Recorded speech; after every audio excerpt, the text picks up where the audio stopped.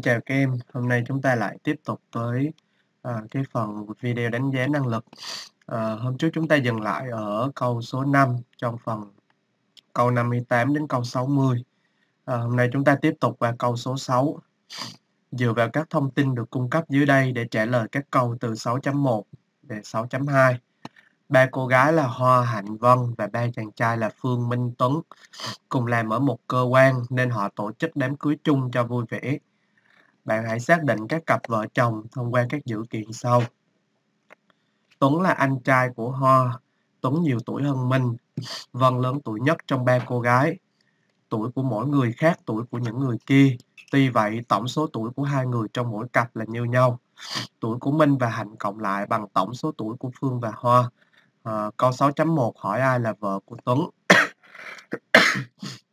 thì ở đây chúng ta có thể dễ dàng uh, trả lời được cái câu 6.1. Thứ nhất, uh, chúng ta có Tuấn là anh trai Hoa, cho nên là Tuấn không thể nào là uh, chồng của Hoa được. Vậy thì chúng ta loại đi đáp án A. Rồi tiếp tục, uh, các cái cặp vợ chồng này tuy là tuổi khác nhau nhưng mà tổng số tuổi của hai người trong mỗi cặp là như nhau. Có nghĩa là cứ mỗi cặp như vậy cộng số tuổi lại thì ba cặp thì có số tuổi bằng nhau. Như vậy thì Tuấn nhiều tuổi hơn Minh và Vân nhiều tuổi hơn Hoa do đó Tuấn không thể nào mà là chồng của Vân được. Tuấn không thể nào đi với Vân được.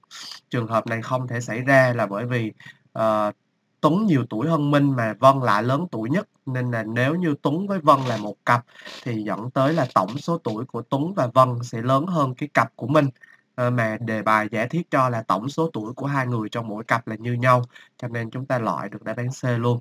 Như vậy thì Tuấn không có thể kết cặp với Hoa nè, không thể kết cặp với Vân nè, thì Tuấn uh, kết cặp với Hạnh, có nghĩa là Hạnh là vợ của Tuấn, chúng ta chọn được đáp án B, được chưa? Câu 6.1B. Câu 6.2, cặp nào đúng trong các cặp sau đây? Như vậy là từ câu 6.1 thì chúng ta đã có được cái cặp đầu tiên, đó là Tuấn và Hạnh. Tuấn và Hạnh. Bây giờ từ những giả thiết còn lại của đề bài, chúng ta phải đi xác định được cái các cái cặp còn lại.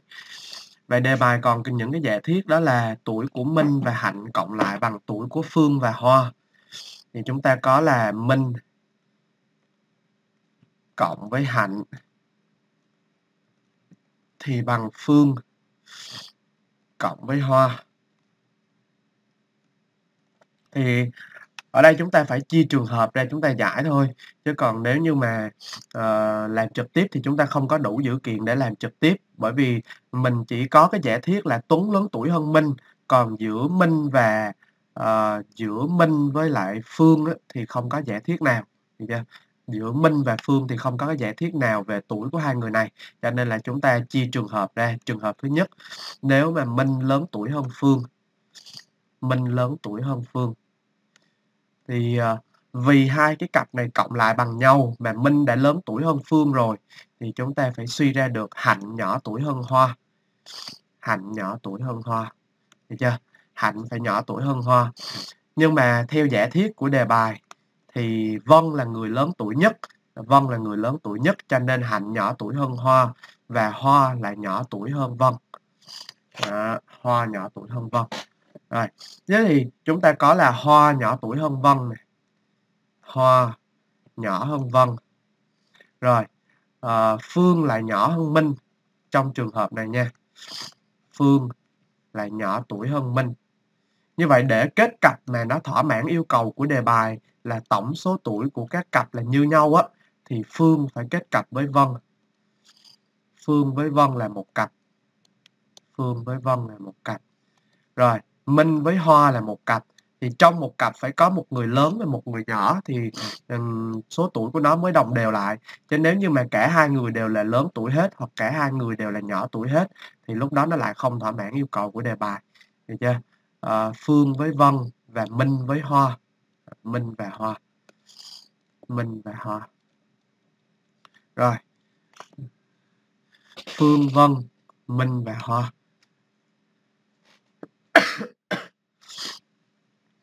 Mà trong trường hợp này người ta, ờ trong trường hợp này thì chúng ta không thấy có cái gì mâu thuẫn xảy ra. Ờ, nếu như mà Minh lớn tuổi hơn là hơn Phương, được chưa? Thì, ờ, Hạnh nhỏ tuổi hơn Hoa, Minh lớn tuổi hơn Phương thì Hạnh nhỏ tuổi hơn Hoa, mà Vân lớn tuổi nhất, nghĩa là Hoa nhỏ tuổi hơn Vân. Hoa nhỏ tuổi hơn Vân, Phương nhỏ tuổi hơn Minh, thì nếu như kết cặp thì sẽ là Phương với Vân và Minh với Ho À, thì trong trường hợp này chúng ta không thấy có cái điều nào mâu thuẫn xảy ra nên là các em có thể chọn luôn đáp án ở đây là Phương với Vân hoặc là Minh với Ho các em có thể chọn được đáp án C. À, được chưa? Thì nếu như mà để cho chắc chắn hơn thì Kim làm thêm trường hợp số 2.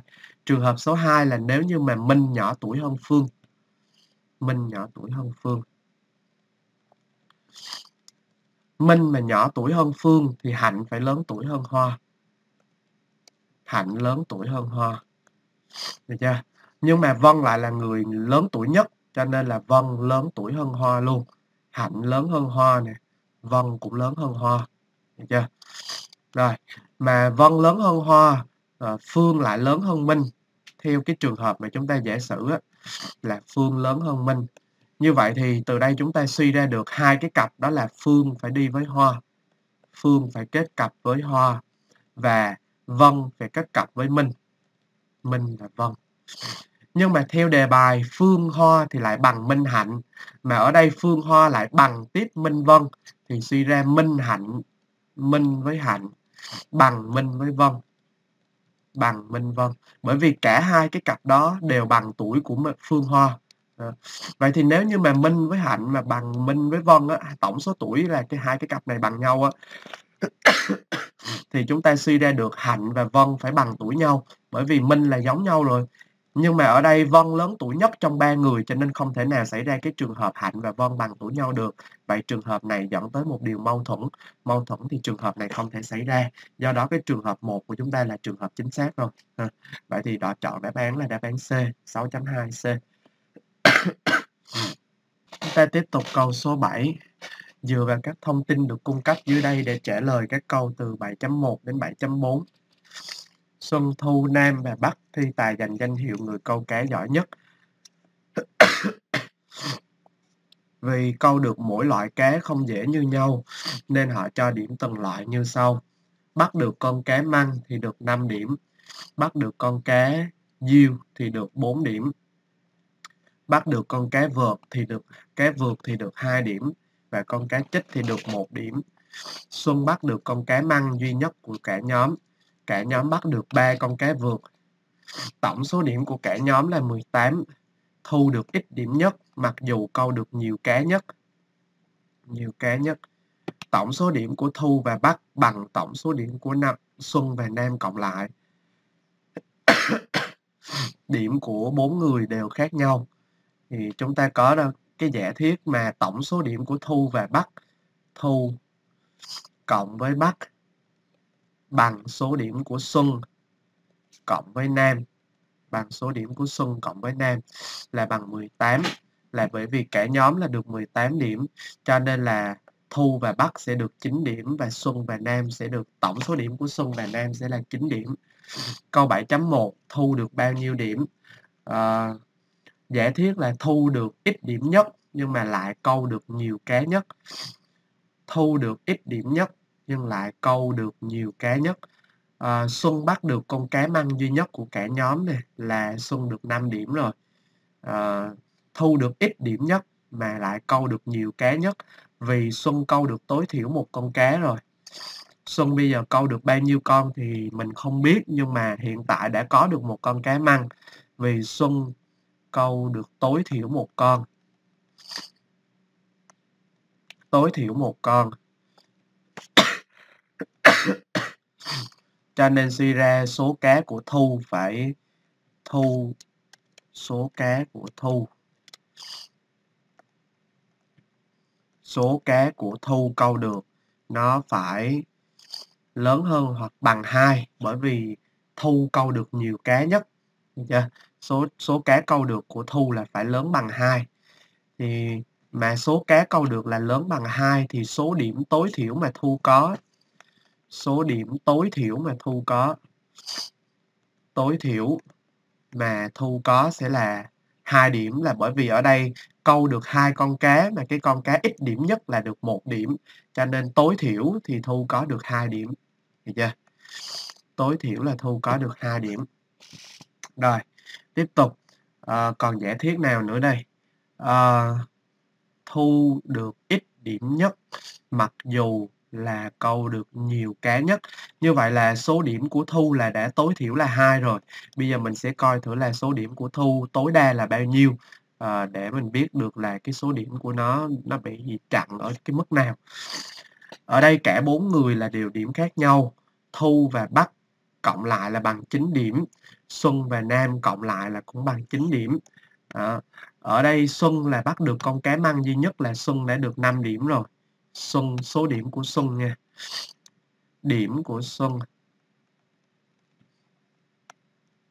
Điểm của Xuân là lớn hơn hoặc bằng 5. Được chưa? Thu được ít điểm nhất. điểm của Xuân là lớn hơn hoặc bằng 5. Đó là bởi vì nó đã câu được con cá măng của cả nhóm cho nên là ít nhất là nó được 5 điểm, lớn hơn hoặc bằng 5. Điểm của Xuân lớn hơn hoặc bằng 5 mà điểm của Bắc là lại là cao nhất. Bởi vì Thu được ít điểm nhất, Thu ít điểm nhất cho nên Bắc sẽ là người cao điểm nhất. Bởi trong này Thu với Bắc cộng lại nó bằng Xuân với Nam mà. Ở đây cái cặp Thu và Bắc là con Thu nó đã ít nhất rồi. Ít nhất thì dẫn tới thằng Bắc phải là số điểm nhiều nhất. À, Vì Thu ít nhất. Vì Thu ít điểm nhất nên suy ra Bắc là người nhiều điểm nhất. Bắc là người nhiều điểm nhất. Rồi, vì Bắc là người nhiều điểm nhất cho nên suy ra tiếp số điểm của Bắc phải lớn hơn cả số điểm của Xuân. Của cả số điểm của Xuân. Mà số điểm của Xuân thì lớn hơn hoặc bằng 5 cho nên suy ra số điểm của Bắc Bắc lớn hơn cả năm thì số điểm của Bắc là lớn hơn hoặc bằng 6. Nhưng mà tổng số điểm của Thu và Bắc là bằng 9 nè. Tổng số điểm của Thu và Bắc là bằng 9 mà Bắc đã lớn hơn hoặc bằng 6 rồi, suy ra điểm của Thu bé hơn hoặc bằng 3. Điểm của Thu sẽ bé hơn hoặc bằng 3. Rồi, thế thì từ cái dữ kiện thứ nhất đó là tối thiểu là hai điểm, thầy đặt là một Ở dưới đây điểm của Thu lại bé hơn hoặc bằng 3 nữa cho nên từ hai dữ kiện 1 và 2 thì thầy suy ra được số điểm của Thu tối thiểu là 2, có nghĩa là lớn hơn hoặc bằng 2, bé hơn hoặc bằng 3. Mà lớn hơn hoặc bằng 2, bé hơn bằng 3 thì nó có thể là hai điểm hoặc là 3 điểm thì chúng ta chưa xác chưa xác định được. Vậy bây giờ chúng ta đi xác định tiếp đó là ờ, con thu này nó sẽ câu được bao nhiêu con cá. À, thu câu được nhiều cá nhất. Rồi. Thu câu được nhiều cá nhất có nghĩa là số cá của thu nó phải lớn bằng 2 số cá của thu lớn bằng 2. Vậy nếu như mà số cá mà bằng 2 á, nếu số cá mà bằng 2 nha. Nếu số cá mà bằng 2. À, ờ, nếu số cá của thu mà bằng 2 thì số điểm của thu nó cũng sẽ bằng hai luôn. Bởi vì uh, số cá mà bằng 2 mà ở đây điểm của thu là lớn bằng 2 là nhỏ bằng 3 câu được hai con cá mà số điểm là bằng 2 hoặc là bằng 3 thì chỉ có thể là câu được hai con cá chích và được hai điểm thôi. Chứ còn hai con cá hai con cá khác thì không thể nào mà nó nằm trong khoảng điểm là từ từ 2 đến 3 được. Cũng có thể là một con cá chích và một con cá vượt cũng có được chưa rồi à, như vậy là nếu như mà số cá của thu mà câu được là hai con cá thì số điểm của thu là số cá của thu là câu được hai con thì tất cả những người còn lại sẽ câu được một con có nghĩa là Nam này, Xuân này và Bắc. Nam, Xuân và Bắc câu được một con cá. Bởi vì số cá của Thu là nhiều nhất rồi mà. Thu câu được nhiều cá nhất mà trong trường hợp này, số cá của nó nếu như mà bằng 2 thì những người còn lại phải câu được một con cá. Vậy thì cả đội sẽ câu được là 5 con. Cả đội câu được tổng cộng là 5 con. Được chưa? câu được tổng cộng là 5 con. Thế thì như vậy thì nếu như mà cả đội thu được, câu được tổng cộng là 5 con. Trong khi đó Xuân câu được một con thì Xuân câu được một con cá măng là được 5 điểm này. Xuân câu được là 5 điểm. Những người còn lại câu được một con. Những người còn lại là câu được một con. Xuân câu được một con cá măng thì được là 5 điểm. Những người còn lại sẽ câu được uh, Nam và Bắc là câu được mỗi người một con và Thu là câu được hai con. Rồi, vậy thì nếu Nam và Bắc mà câu được một con á, thì số điểm của Nam và Bắc sẽ là bao nhiêu điểm?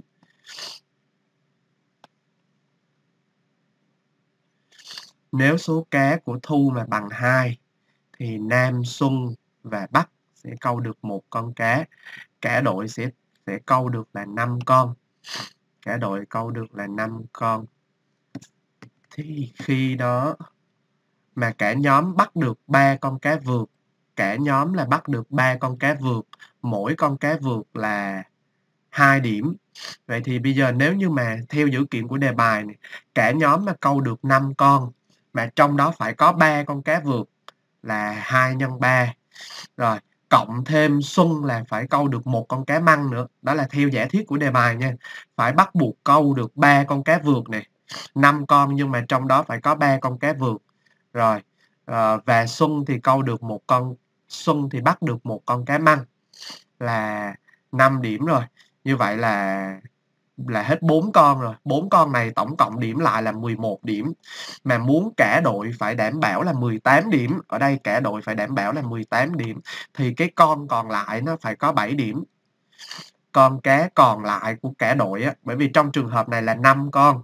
Nhưng mà ở đây ba con cá vượt theo đề bài và một con cá măng thu uh, xuân câu được là hết bốn con rồi. Bốn con này tổng cộng lại là 11 điểm. Vậy thì còn lại một con một con cá còn lại nó phải 7 điểm thì nó đủ 18 điểm. Nhưng mà trong đề bài không có con cá nào trong đề bài thì không có con cá nào được 7 điểm hết cho nên trường hợp này là vô lý trường hợp này là vô lý. Như vậy thì số cá mà thu câu được á, không thể bằng 2. Ban đầu mình nói số cá mà thu câu được phải lớn bằng 2 nhưng mà bây giờ nó không thể bằng 2. Như vậy thì suy ra số cá mà thu câu được số cá thu câu được phải lớn hơn 2. Số cá mà lớn phải lớn 2, nghĩa là số cá của thu câu được phải lớn hơn hoặc bằng 3. Đó, lớn 2 nghĩa là lớn hơn hoặc bằng 3. Được chưa? Số cá nó câu được nó phải lớn bằng 3 à, ờ, số cá nó câu được phải lớn bằng 3 mà số điểm của nó tối đa là 3 thôi. À, vậy thì chỉ có thể là câu được ba con cá chích với số điểm là 3 điểm thôi. Bởi vì số cá câu được là nhiều nhất. Số cá số cá câu được là à, xin lỗi số cá câu được là ít nhất ít nhất. Số cá câu được là ít nhất mà số điểm lại là điểm cao nhất, điểm là đạt mắt. Thế thì số cá của nó là lớn bằng 3, lớn bằng 3 thì số cá min là bằng 3. Thì để số điểm mắc, số điểm mắc ở đây là bằng 3 luôn. Vậy thì để cho số cá là 3 mà số điểm cũng bằng 3 thì chỉ có thể là câu được 3 con cá chích và mỗi con một điểm thì nó mới bằng 3 điểm. Do đó câu 7.1 các em chọn đáp án B là 3 điểm. Được chưa? Rồi Ờ, à, Nam câu được bao nhiêu điểm? Như vậy hiện tại Thu là được 3 điểm rồi nè. Thu là 3 điểm. 3 điểm. Nếu Thu 3 điểm thì thầy suy ra được Bắc sẽ là 7 à, Bắc sẽ là 6 điểm bởi vì tổng số điểm của hai đứa này là 9 mà Thu 3 Bắc 6 thì suy ra số điểm của Nam. Số điểm của Nam là phải lớn Thu bởi vì Thu Thu ít điểm nhất. Được chưa? Số điểm của Nam là phải lớn Thu bởi vì Thu ít điểm nhất. À, mặc dù câu được nhiều cá nhất, cho hồi nãy là bị nhầm chỗ này là nhiều cá nhất mà lại ít điểm nhất. Điểm là lớn bằng 2, nhỏ bằng 3. Nhiều cá nhất thì là số cá phải lớn hơn hoặc bằng 3, không thể vượt quá. Nếu như mà số cá của Thu mà vượt quá 3 thì số điểm của nó ra khỏi cái cái khoảng điểm là từ 2 đến 3 rồi. Cho nên là số cá ở đây chỉ có thể là bằng 2 thôi. Số ơ, số cá ở đây là bằng 3 và số điểm của Thu là bằng 3 luôn. Chứ còn nếu như mà số cá của Thu mà lớn hơn 3 thì số điểm của nó bị vượt ra khỏi cái đoạn là từ 2 đến 3 mất tiêu rồi. Ở đây phải đảm bảo số cá là nhiều nhất, lớn bằng 3 mà số điểm tối đa là bằng 3 thì chỉ có thể là ba con cá chích. À, chỉnh lại nha. Rồi, vậy là Nam uh, số điểm của Nam là bằng bao nhiêu. Ở đây Thu là người ít điểm nhất, có nghĩa là số điểm của Thu là min, còn số điểm của Bắc là mắc rồi. Như vậy là thằng Nam nó đứng lẫn lẫn ở giữa thì nghĩa là nó phải lớn hơn min và nhỏ hơn mắc, nghĩa là lớn hơn 3 và nhỏ hơn 6. Lớn hơn 3, nhỏ hơn 6 thì có hai giá trị là 4 hoặc là 5. Vậy bây giờ mình xem tiếp nè. Còn trong đội của trong đội của Xuân và Nam á thì số điểm của Xuân là lớn hơn hoặc bằng năm rồi, bởi vì Xuân câu được một con cá măng bởi thì tối thiểu Xuân được 5 điểm. Số điểm của Xuân lớn bằng 5 thì số điểm của Nam số điểm của Nam sẽ bé hơn hoặc bằng 4 bởi vì hai thằng này cộng lại phải bằng 9. Được chưa? Vậy là tôi kết hợp hai cái dữ kiện này suy ra số điểm của Nam sẽ lớn hơn 3, nhỏ hơn hoặc bằng 4.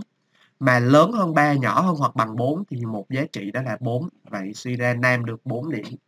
Được chưa?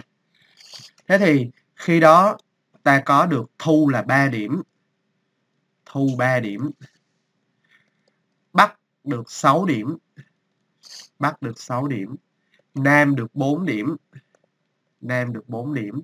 Thì lúc đó Xuân sẽ được 5 điểm. Xuân sẽ được 5 điểm. Vậy thì tới tới đây chúng ta đã xác định được điểm của cả bốn bạn. Được chưa? Thì sắp xếp điểm số theo thứ tự, từ thấp cho đến cao thì là Thu, Nam, Xuân, Bắc. Thu, Nam, Xuân, Bắc. Đáp án C. Câu 7.3 đáp án C. Câu 7.4 Bắt bắt được mỗi loại bao nhiêu con cá. Hiện tại mình có Xuân là 5 điểm cho nên Xuân chỉ bắt được một con cá măng thôi. Xuân bắt được một con cá măng. Lúc nãy chúng ta nói là Thu bắt được ba con cá chích là nhiều nhất là 3 điểm. Vậy là Bắc và Nam phải bắt được ba con cá vượt. Bắc và Nam phải bắt được ba con cá vượt. Thì lúc đó nó mới đảm bảo là cả nhóm bắt được ba con cá vượt. Được chưa? Như vậy thì lúc đó bắt uh, bây giờ nếu như mà bắt bắt được ba con cá vượt á, thì tổng số ba con cá vượt là tổng số ba con cá vượt là 3 nhân 2 là 6 điểm 3 nhân 2 là 6 điểm. Rồi, ờ, uh, 6 điểm. Vậy thì Nam 4 điểm thì lúc đó Nam câu được con cá điêu. Tổng số điểm à, Xuân bắt được con cá măng duy nhất của cả nhóm. Cả nhóm bắt được ba con cá vượt. Thu được ít nhất. Thu được ít điểm nhất mặc dù là câu được nhiều cá nhất. Điểm của bốn người đều khác lẫn nhau. Vậy thì bây giờ bắt bắt được mỗi loại cá bao nhiêu. Nếu như mà bắt bắt được ba con cá vượt luôn thì nó có mâu thuẫn với đề bài hay không? Mỗi con cá vượt, mỗi con cá vượt là được 2 điểm. Mỗi con cá vượt là được 2 điểm. Mà ở đây bắt thì được 6 điểm. Bắt thì được 6 điểm. Xuân thì được 5 điểm. Xuân được 5 điểm nhưng Xuân bắt được con cá măng duy nhất của cả nhóm. Cho nên là Xuân được 5 điểm là Xuân chỉ bắt được con cá măng thôi. Rồi uh, bắt được 6 điểm thì bắt có thể rơi vào các trường hợp đó là ba con cá vượt luôn. Nếu như bắt bắt được cả ba con cá vượt thì lúc đó thì lúc đó Nam Nam được 4 điểm thì Nam sẽ bắt được con cá điêu. Xuân bắt được con cá măng, cả nhóm bắt được ba con cá vượt. Tổng số điểm của cả nhóm là 18. Tổng số điểm của Thu và Bắc bằng số điểm của Xuân và Nam.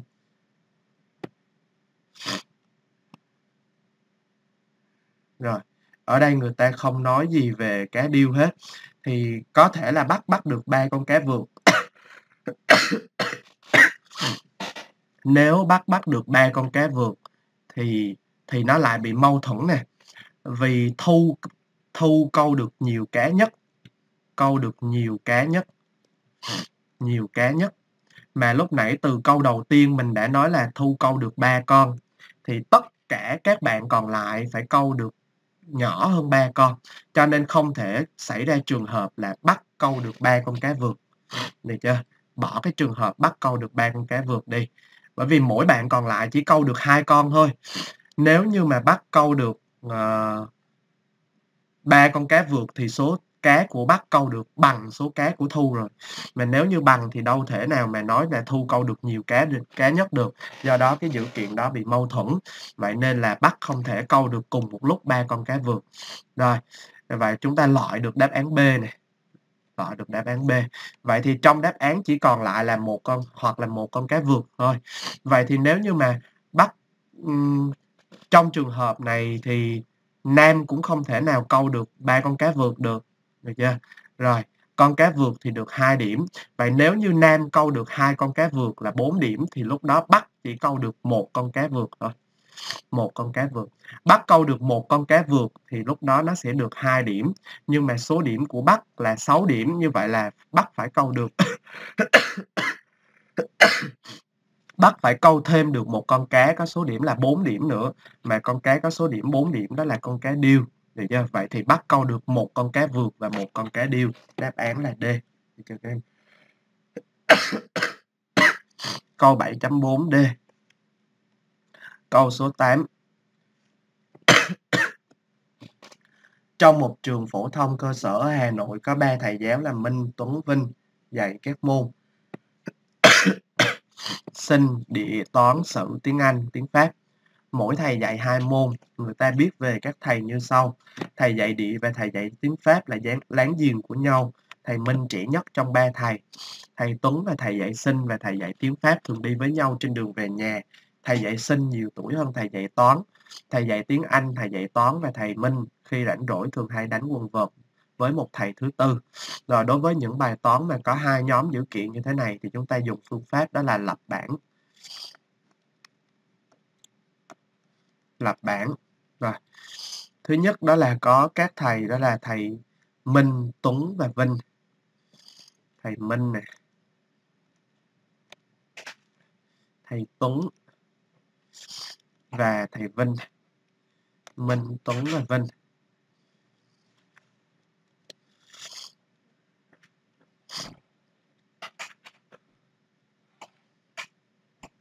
Rồi, chúng ta sẽ có các cái cột như sau. Các cái cột là các cái môn. Chúng ta có những môn đó là sinh, địa, toán, sử, tiếng Anh và tiếng Pháp. Sinh, địa, toán, sử, Anh và Pháp. à chúng ta chia các cái cột ra.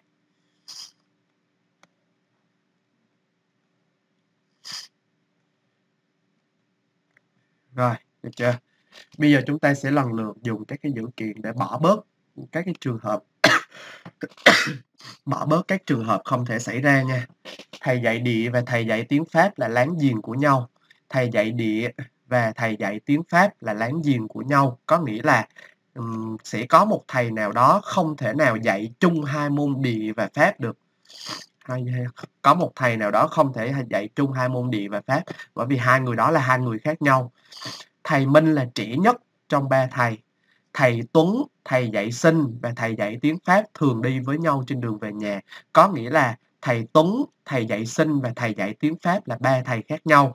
Thì lúc đó chúng ta suy ra được thầy Tuấn không có dạy sinh và Pháp chung. Được chưa? Không có dạy sinh và Pháp bởi vì thầy Tuấn với thầy dạy sinh và thầy dạy Pháp là ba thầy khác nhau mà. À, thêm cái nữa là cái thầy dạy môn sinh với thầy dạy môn tiếng Pháp là hai môn đó phải là hai môn khác nhau. Không có đi chung một cặp được sinh và Pháp không đi chung một cặp. Rồi tiếp tục. Thầy dạy sinh nhiều tuổi hơn thầy dạy toán. Thầy dạy sinh nhiều tuổi hơn thầy dạy toán có nghĩa là sinh và toán cũng không phải là một cặp luôn. Sinh và toán cũng không phải là một người dạy phải khác nhau. Rồi tiếp tục thầy dạy tiếng Anh, thầy dạy toán và thầy Minh khi rảnh rỗi thường hay đánh quần vợt với một thầy thứ tư. Thầy dạy tiếng Anh này và thầy dạy toán này và thầy Minh khi rảnh rỗi thường hay đánh quần vợt với thầy thứ tư. À, ở đây mình uh, nhầm, mình bị mình sắp xếp cột nó hơi bị uh, thiếu. Mình phải thêm một cái dòng ở dưới đây nữa.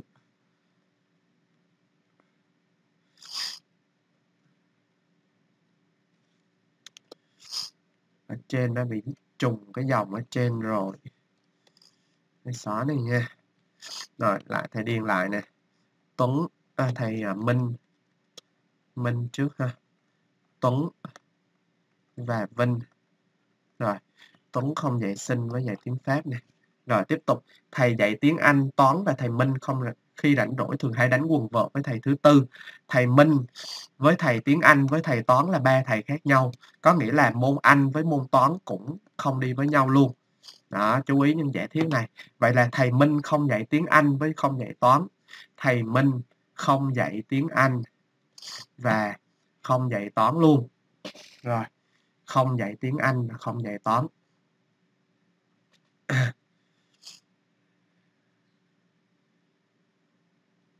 Rồi, như vậy bây giờ chúng ta coi thử là với một thầy thứ tư, thầy Minh, thầy tiếng Anh, thầy dạy toán, khi rảnh rỗi thường hay đánh quần vợt với một thầy thứ tư. Rồi, như vậy thì bây giờ mình coi thử là thầy Minh dạy môn gì? Thầy Minh dạy môn gì? À, ở đây có bốn đáp án là tiếng Pháp với lịch sử, lịch sử địa lý, tiếng Pháp với tiếng Anh, tiếng Pháp với tiếng Anh hay là tiếng Anh với lại lịch sử. Bây giờ chúng ta coi nha. Thầy dạy địa và thầy dạy tiếng Pháp là hai là láng giềng của nhau, có nghĩa là địa với tiếng Pháp thì không đi chung. À, rồi tiếp tục. Thầy Minh là trẻ nhất trong ba thầy. Thầy Tuấn, thầy dạy sinh và thầy dạy tiếng Pháp thường đi với nhau trên đường về nhà. À, thầy dạy sinh nhiều tuổi hơn thầy dạy toán. Thầy dạy sinh nhiều tuổi hơn thầy dạy toán. Rồi, có nghĩa là thầy Minh sẽ không dạy, thầy Minh là trẻ tuổi nhất, cho nên là thầy Minh cũng không có dạy sinh luôn. Đó, thầy Minh cũng không dạy sinh luôn. Vậy thì còn lại là thầy Minh hay hoặc là dạy địa, dạy sử hoặc dạy Pháp. Như vậy ở đây chúng ta xem từ cái cột đầu tiên này. Môn sinh là thầy Minh không dạy, thầy Tuấn không dạy thì chắc chắn là thầy Vinh sẽ dạy. Được chưa? Rồi, được một cái nha chắc chắn là thầy Vinh sẽ dạy môn sinh rồi. Nhưng mà em coi là môn sinh thì sẽ không. Nếu thầy Vinh đã dạy môn sinh rồi thì thầy Vinh sẽ không có dạy tiếng Pháp nữa. Bởi vì thầy dạy sinh và thầy dạy tiếng Pháp là hai thầy khác nhau. Rồi tiếp tục môn sinh thì cũng không đi với môn toán luôn cũng bỏ đi luôn. Hai dạy môn sinh và môn toán là hai thầy khác nhau. Như vậy chúng ta điền được chỗ này chúng ta sẽ điền được chỗ này. Đó, được chưa? Rồi hai cái nha. Rồi tiếp tục à, chỗ nào nữa nè. Môn tiếng Pháp tiếng Pháp thì sẽ không đi với môn địa. Nếu như thầy Minh đã dạy tiếng Pháp rồi thì sẽ không dạy địa bởi vì hai môn đó là hai môn khác nhau. Như vậy thì còn lại môn này. Đó, vậy là được thầy Minh dạy môn sử và môn tiếng Pháp tiếng Pháp lịch sử. Thầy Vinh dạy môn nào trong các môn sau? Thầy Vinh bây giờ mình đã có thầy dạy môn sinh rồi nè. Được chưa? Chúng ta điền những chỗ còn lại. Chỗ này đã có người dạy rồi môn sử đã có người dạy rồi thì chúng ta gạch bỏ hai thằng này. Được chưa? Rồi để dạy sinh thì không dạy tiếng Pháp, không dạy toán, bỏ được rồi thôi. Rồi tiếp tục. À, còn chỗ nào mà chúng ta có thể gạch được nữa hay không? Thầy Tuấn, xem thầy Tuấn nữa ha. Thầy Tuấn đã dạy toán rồi thì không dạy sinh. Dạy toán rồi thì không dạy tiếng Anh. Đúng rồi, bởi vì toán với tiếng Anh phải là hai thầy khác nhau. Do đó chúng ta được cái chỗ này. Vậy chúng ta bỏ ở đây đi. Còn lại chỗ này. Do đó thầy Vinh sẽ dạy hai môn. Đó là môn môn sinh và môn tiếng Anh. Thầy Vinh dạy môn nào trong các môn sau? Môn sinh. Thầy Tuấn dạy những môn nào? Thầy Tuấn thì sẽ dạy môn địa và môn toán. Địa và toán. Toán và địa lý. Chọn đáp án D. Câu 8.3 D. Được chưa các em? Câu số 9. Dựa vào các thông tin được cung cấp dưới đây để trả lời các câu từ 9.1 đến 9.4 hai nam ca sĩ là B và S, hai nữ ca sĩ là R và V, hai nam danh hài là T và V kép, hai nữ danh hài là Q và U là 8 nghệ sĩ sẽ biểu diễn tại nhà hát vào một buổi tối. Mỗi một nghệ sĩ biểu diễn một hình và đúng một lần trong buổi tối đó. Các nghệ sĩ có thể biểu diễn theo một thứ tự bất kỳ thỏa mãn yêu cầu sau.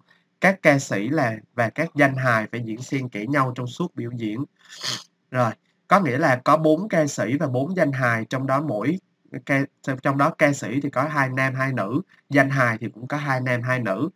Người diễn đầu tiên phải là một nữ nghệ sĩ và người diễn thứ hai phải là một nam nghệ sĩ. Người diễn cuối cùng cũng phải là một nam nghệ sĩ. Như vậy chúng ta có 8 vị trí. 1 2 3 4 5 6 7, 8. Người diễn đầu tiên là một nữ nghệ sĩ. Diễn đầu tiên là nữ. Người diễn và người thứ hai phải là một nam nghệ sĩ. Rồi. Tiếp tục, người diễn cuối cùng cũng phải là nam. Nam. Các ca sĩ và danh hài phải diễn xen kẽ nhau. Nghệ sĩ nào sau đây có thể là người biểu diễn cuối cùng? Người biểu diễn cuối cùng thì phải là nam. Nam thì có thể là B hoặc S hoặc Q à, hoặc T với V kép. Chúng ta bỏ R đi nè, bởi vì R là nữ nè. Rồi, uh, nữ là ai nữa? V bỏ luôn, bởi vì V là nữ nè. Còn lại là S với T còn lại là S với T hai nam ca sĩ nhưng mà diễn cuối cùng phải là một nam ca sĩ nam ca sĩ à, vậy thì trong trường hợp S với T thì chỉ có nam ca sĩ là S thôi còn T nó là danh hài rồi, bỏ. Câu 9.2 nếu B biểu diễn ở vị trí thứ 8 thì ai dưới đây phải biểu diễn ở vị trí thứ hai? B biểu diễn ở vị trí thứ 8 là B là nam ca sĩ rồi. B là nam ca sĩ thì người ở vị trí thứ hai phải là ai? Nam ca sĩ, ở đây là ca sĩ. Nếu b ở vị trí thứ 8 là ca sĩ thì vị trí thứ 7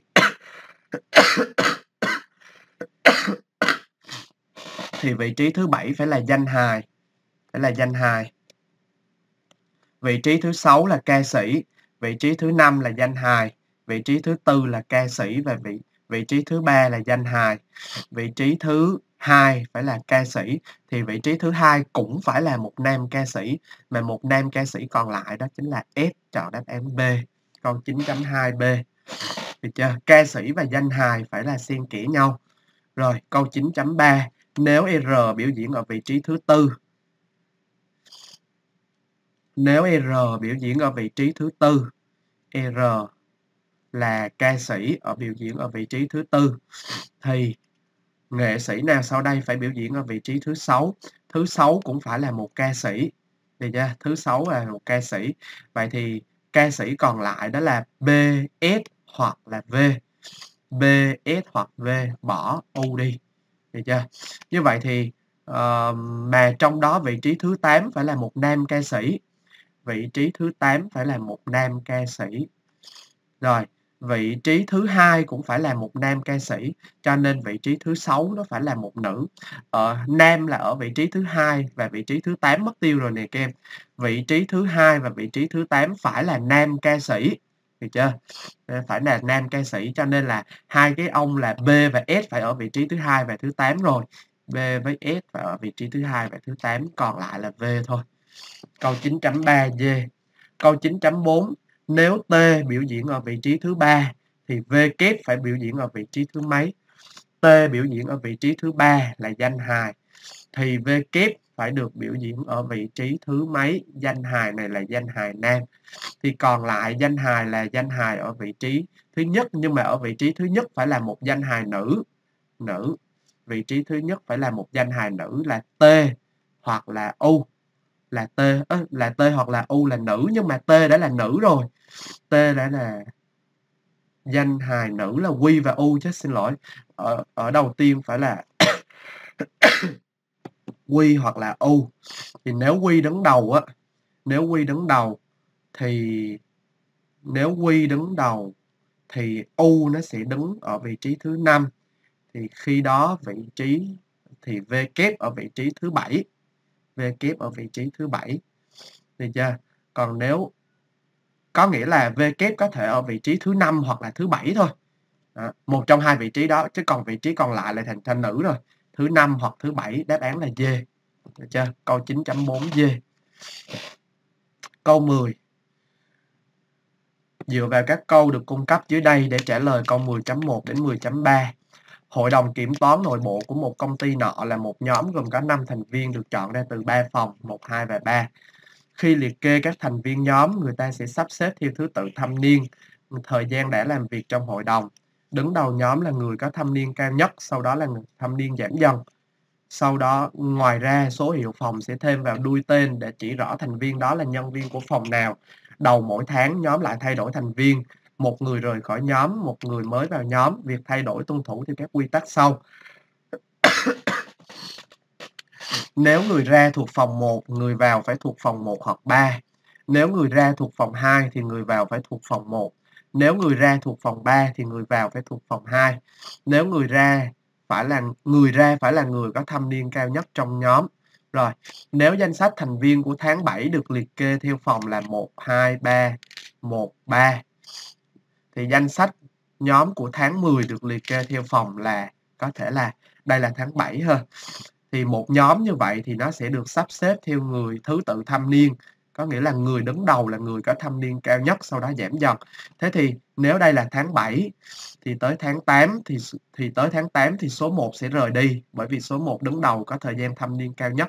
Thì khi đó sẽ là 2 3 1 3 nếu như người ra thuộc phòng 1 thì người vào phải thuộc phòng 1 hoặc là phòng 3 rồi, tháng 9 tháng 9 thì người ra sẽ là thuộc phòng 2 tháng 10 tháng 9 thì nó sẽ là 3 1 3 1 hoặc 3 thì chưa biết nha cứ để đó thôi.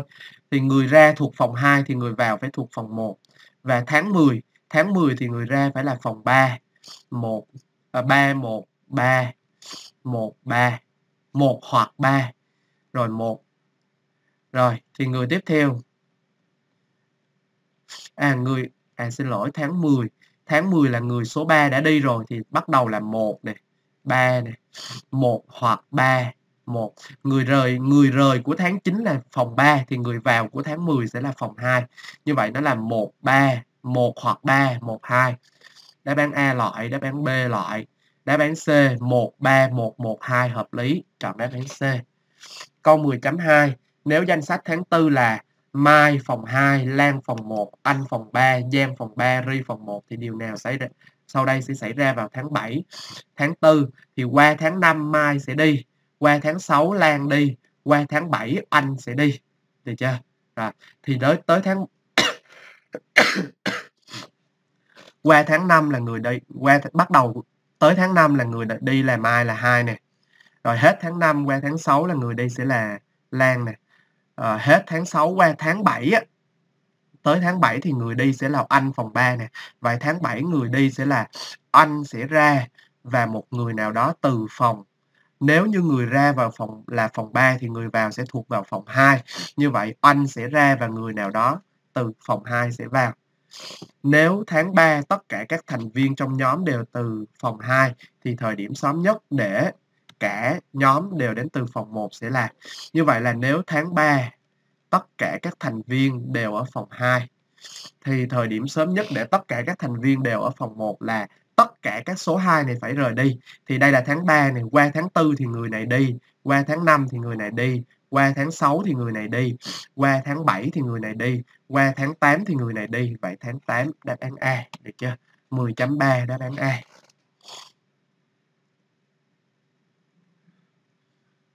Rồi, câu 10.3 đáp án A. Câu 11. Dựa vào các thông tin được cung cấp dưới đây để trả lời câu 11.1 đến 11.5. Có 3 loại trái cây, táo, cam và mận được đóng gói trong 4 thùng kính.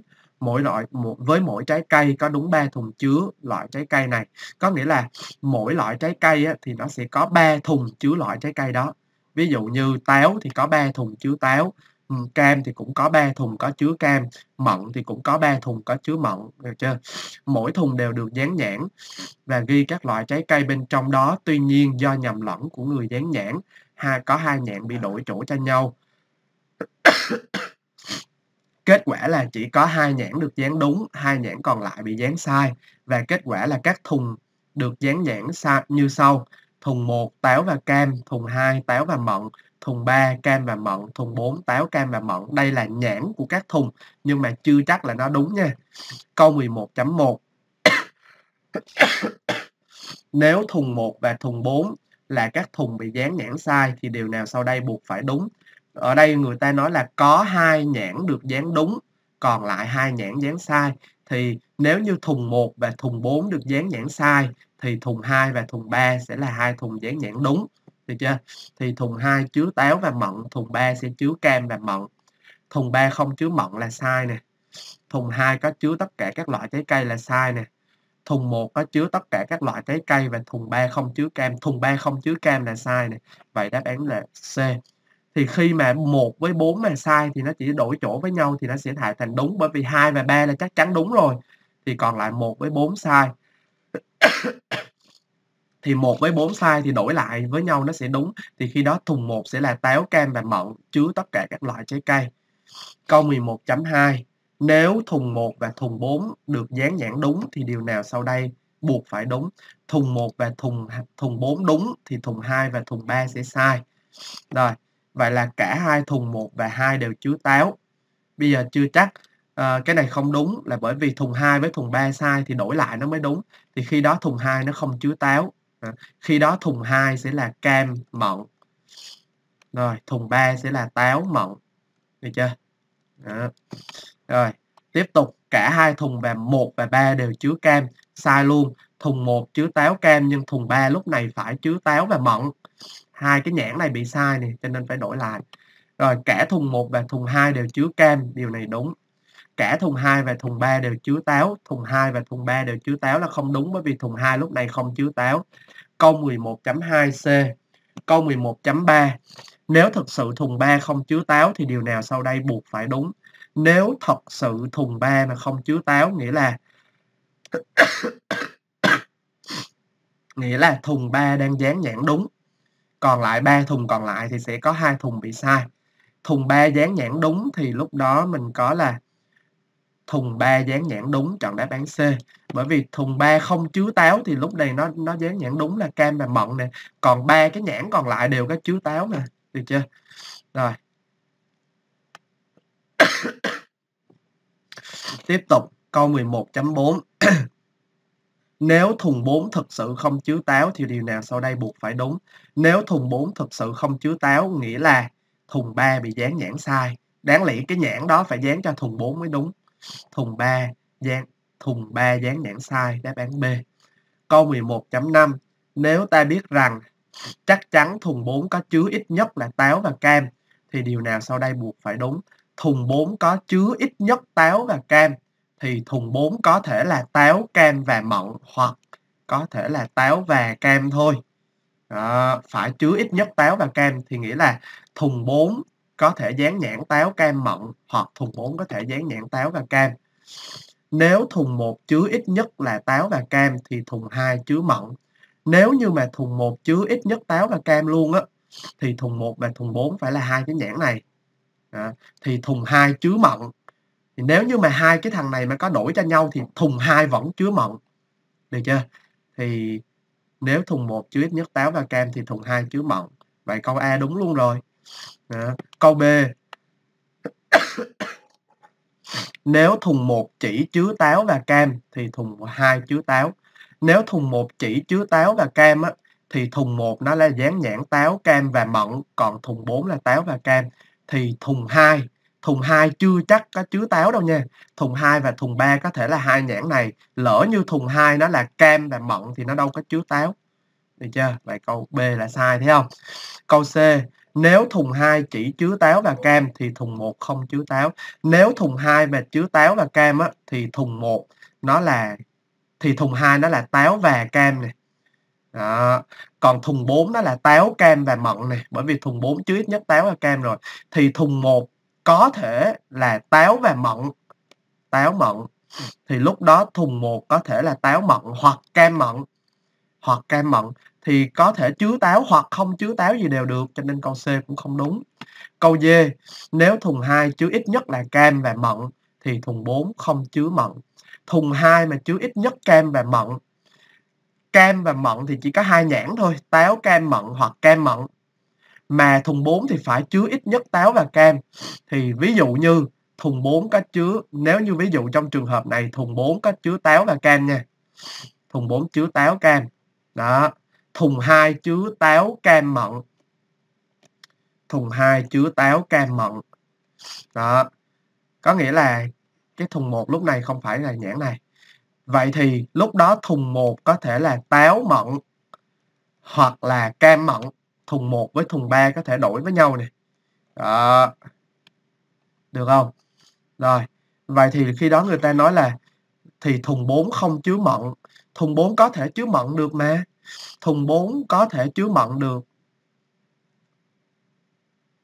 Là bởi vì thùng 4 nó có thể là táo và cam và mận. Thì khi đó nếu thùng 4 táo, cam và mận đi, thì thùng 2 chứa ít nhất là cam mận. Thì thùng 2 lúc đó nó sẽ chứa cái nhãn này. Thùng 2 lúc đó nó sẽ chứa nhãn này. Đó, còn hai cái nhãn còn lại là của thùng 1 và thùng 3. Được chưa? Cho nên đáp án D sai.